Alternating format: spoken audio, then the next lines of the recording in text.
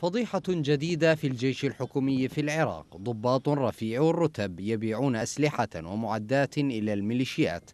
مصادر أكدت أن الأسلحة التي بيعت للميليشيات هي أسلحة متوسطة وخفيفة ونواظير ليلية وعتاد ومعدات عسكرية سلمتها قوات التحالف للقوات الحكومية. ومنذ عدة أسابيع جرى الأمر ذاته عندما صدرت أوامر باعتقال ضباط باعوا أسلحة للميليشيات لتفتح هذه القضية باب ملفات فساد كبير في المؤسسة العسكرية من الناحية الاقتصادية والأمنية وتكشف عن مدى الترهل في هذه المؤسسة وتغلغل النفوذ الميليشياوي فيها.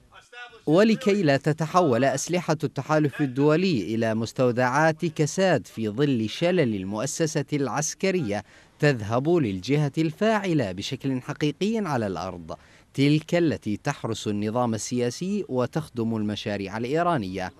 وبقدر ما تعد هذه القضية كارثية في أي بلد مستقل في العالم بقدر ما هي غير مستغربة في العراق حيث أن قرار دمج الميليشيات بالمؤسسة العسكرية كان بمثابة التصريح الرسمي لها بتسيد الموقف العسكري ويكون الجيش هو قناعها الشرعي دوليا في حال تم التضييق عليها.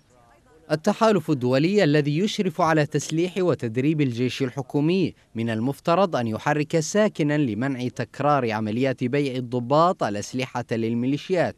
لكن كما يبدو تسير الأمور وفق التفاهمات على تحويل ترسانة الجيش إلى مستودع احتياطي للتسليح الميليشياوي.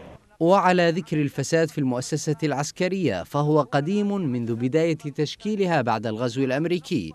مصادر برلمانية قبل عدة سنوات تحدثت عن صفقات تسليح فاسدة بأكثر من 150 مليار دولار لوزارة الدفاع. ولعل صفقة الأسلحة الأوكرانية والطائرات التشيكية من أشهر هذه الصفقات الفاسدة.